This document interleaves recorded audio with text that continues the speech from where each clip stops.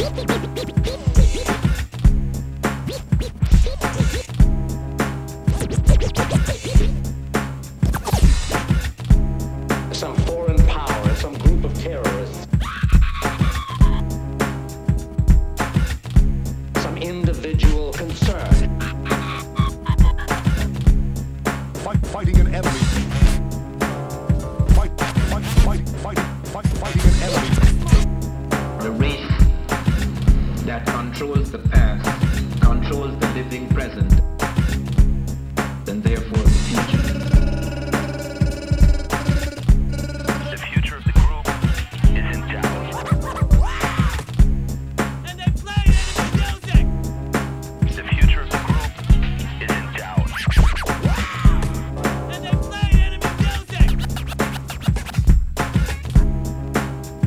lyrics have lyric, lyrics have been uh, rather controversial.